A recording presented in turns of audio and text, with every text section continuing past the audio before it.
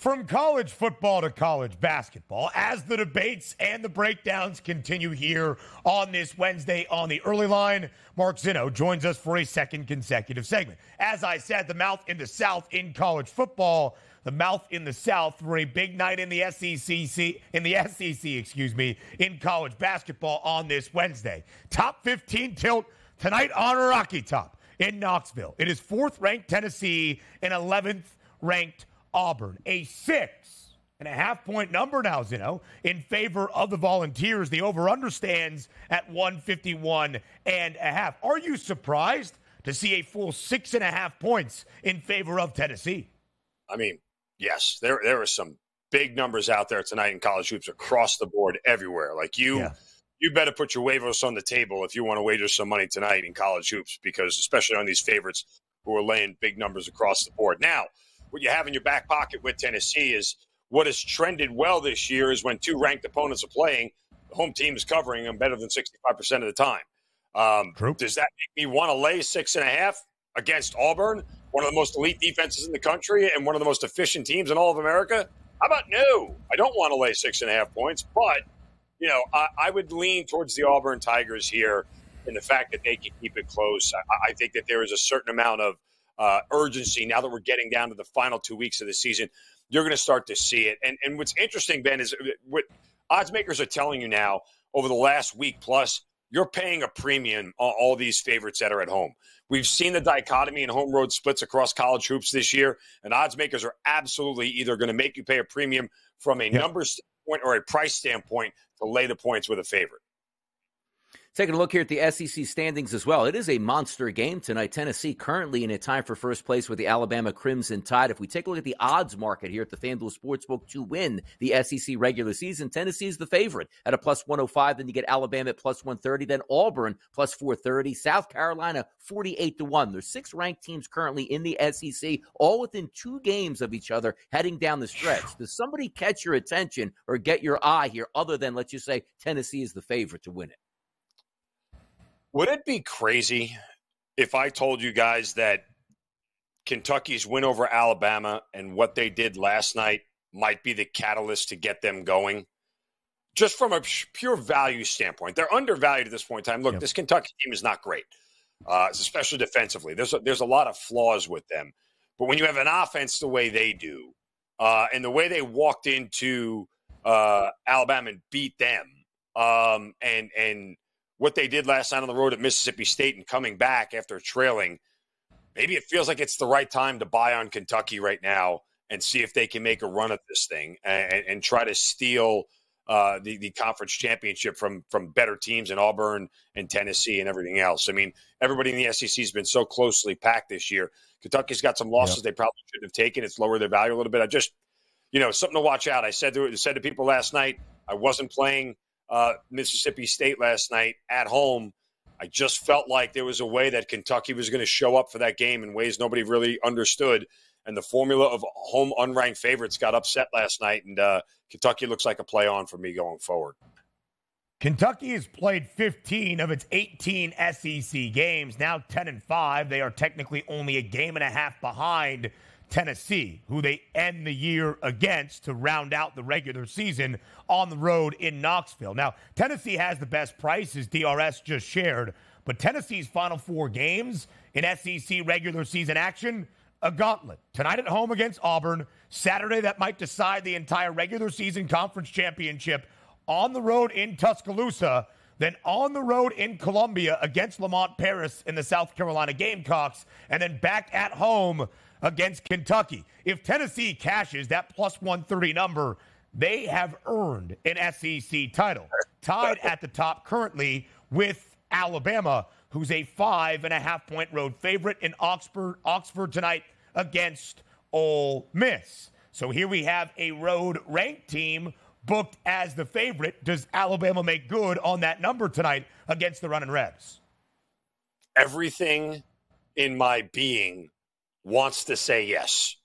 I believe Alabama's going to come out and just put a whooping on Mississippi. Now, the thing about Mississippi and Ole Miss is look, the, the regression hit this team pretty hard midway through the season, right? All those close games that they won early on that led them to a 13 and 0 start, you know, uh, and, and 15 and 3 overall, you know, or 18 and 3 overall before they kind of really got into the meat of the SEC schedule where they lost five of their last six. So we're starting to see them come back down to earth. This is still a team that shoots the ball really well. They're top 20 in the nation in, in three point shooting. Like that's always going to keep you in games, which against an Alabama defense that what's the word we're looking for here, Ben? Stinks. Uh, and is 13 out of 14 teams um, in in uh, in you know defense overall and efficiency. Yeah, I, I I don't know. I, I, I hate laying this number on the road. I, I lean Alabama very much here. I would lay with them. I probably wouldn't play Ole Miss despite the fact that they're home. It's just winning on the road this year has been so difficult in college basketball.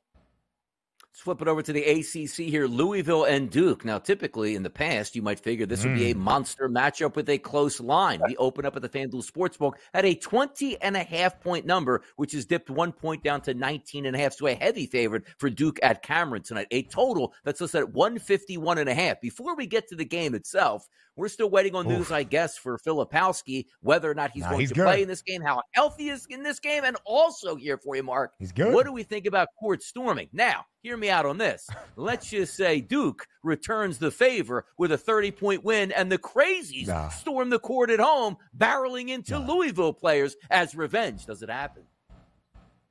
Donnie, if Duke ever storms the court, ever, I don't care if you just won the Final Four in the national championship. If Duke ever storms the court, they should burn the entire university to the ground and never speak of it again. You got like seven national championship banners hanging in your gym. You've had the most successful college coach in history. Don't you dare ever storm the court. You know what you do when they win? Clap, turn around, walk up the steps, and get the hell out of the building. That's what you do. You're Duke for crying out loud. Don't even start that lunacy whatsoever. If the crazies want to yell profanity at players, I'm all for that. You run on that court, you should be shot on sight. And I mean that, okay? I Oh, want snipers. hey-o. That's how, that's how against. That's how much. I, I- yes, I, nobody else is on that island but me. I'm taking full responsibility. That said, here, uh, does this feel like an overreaction line? Like, come on, we're gonna drop. We're gonna lay 20 right now with Duke. Really, this is what we're gonna do? Uh, there's no way I'm laying 20 with Duke. I understand how bad Louisville is. They're god awful. Um, they're barely a, a, a Power Five basketball team at this point in time. But uh, this just is one of these massive overreaction lines. You know, Duke can turn around uh, and coast this game to victory, even without Filipowski if he decides not to play, you know, and, and not have to worry about it. But there's no way I'm laying 20 points with Duke. No way. So the, the injury report on Kyle Filipowski, who does not have a points prop listed for tonight, has varied and altered extremely so in the last 48 to 72 hours after the incident in Winston-Salem on Saturday evening. It was an ankle, then a knee, it was a sprain, a tweak, and now he's just a little bit sore. I would expect Kyle Filipowski to play tonight. I don't think they need him against a porous Louisville team. That if they hold on to Kenny Payne following this year, that Cardinals basketball program in Louisville, once proud, man, it has fallen off in a big way. Duke a 19 and a half point home favorite tonight. They had won five straight games entering Saturday's game at Wake. They had covered in all five, under in all five as well. Their first game since becoming the talk of the sports landscape and college basketball, not because of their great play as of late, but the court storm, the reaction to it, and everything that has been said. The conversation has gotten so out of bounds, it is just ridiculous. We don't need to take it this seriously. There are protocols that can be put into place to execute court storming safely, efficiently, and so nobody on either side is ever even put into harm's way. I do not believe Duke will storm the court tonight as a 19 and a half point favorite against Louisville, still a top 10 team in the country. Big, big East battle for a couple of teams that hover around the bubble. That includes Providence. And Zinno, since Marquette was just lambasted by Connecticut in Hartford two weekends ago, they have been on a mission. They have been blowing out teams reflected in the price tonight. The Golden Eagles, an 11 and a half point home favorite against the Friars. Is that spread too steep for your liking? No, it's not. Um, look, I despite losing to UConn, uh, I think that there is an argument, and you know me, I do the same thing with college football. I think there's an argument to say that Marquette is a better team than UConn. Uh, and look, they're going to get a rematch with these guys uh, before the season is over, so they'll have a chance to to prove to them that uh, that they're equally on the same footing as Connecticut. Providence right now is a team that is planted squarely on the bubble, along with St. John's and Seton Hall.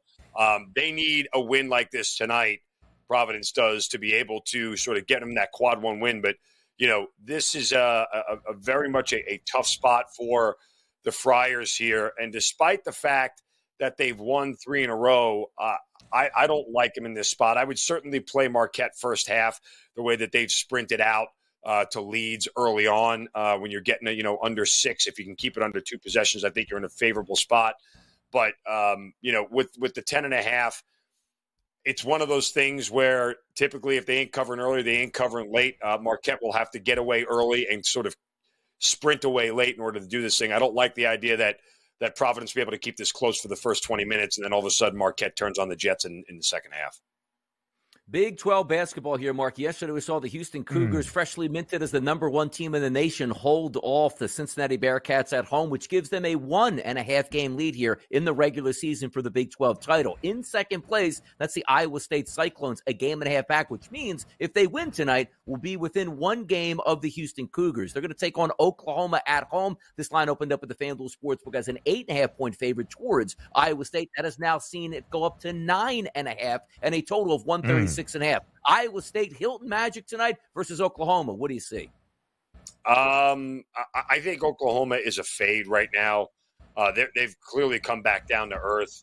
Uh, they don't look like the team that they did for the beginning part of this season that was ranked. Uh, this is a really good Iowa State defense, second in the conference in uh, defensive efficiency. I know their offense isn't great, but you know this is an Oklahoma defense that, other than perimeter defense on the three point line, you know, they don't really present much of a challenge to, to anybody else when you look at it. So uh, I just worry if Iowa State has enough offensive moxie, so to speak, for a full 40 minutes to separate by this big of a number. Probably a stay away game for me, but I would lean Iowa State and lay the points. Yeah, I think that line is the way it is for a reason. Iowa State, who did beat West Virginia by seven on Saturday in Ames, did not cover as an 18 and a half point favorite. But the Cyclones still the best cover team in the Big 12, 9 4 and 1 against the spread. When you look at Iowa State, they have not covered in their last two, once as a dog as well. But when things stand out from Iowa State, that was a push, by the way, against Houston, according to the official consensus betting line, regardless of where you got that. They had covered in seven of their previous eight. Mark Zinno, from the NFL to college football to college basketball. We appreciate your time on this Wednesday. Thank you guys very much. Go Johnnies tonight. Let's get another win for St. John's. Mm. On the road in Hinkle? Oh, what a trap spot that's about to be. Disavow once again. We're back here on the early line in just a moment.